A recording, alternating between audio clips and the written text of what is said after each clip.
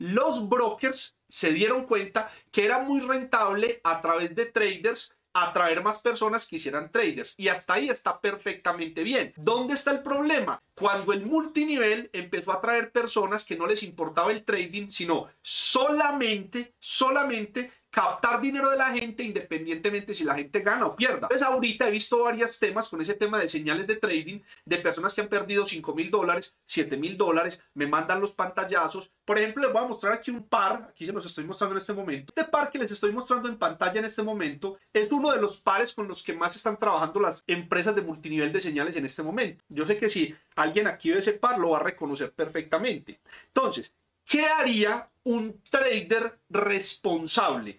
Un trader responsable ve esto y dice, uy, efectivamente, esto lleva subiendo demasiado, ya está lejos de la media móvil de 200 periodos, el RSI está por cerca de 80, aquí encuentro una divergencia muy interesante, entonces vengo y trazo esa divergencia más o menos desde acá, y yo digo, ah, esta divergencia lo que me está indicando es que ya aquí próximamente ya puede haber una caída de precio. Entonces, un trader medianamente inteligente abre una orden de entrada, coloca un stop más o menos en 0.884 y le mete un lotaje responsable de 0.02 y le dice vender. Entonces mete esa venta y él sabe que en esa operación, en el peor de los casos, la persona puede llegar a perder, en el peor de los casos, 15 dólares, como les estoy mostrando ahí.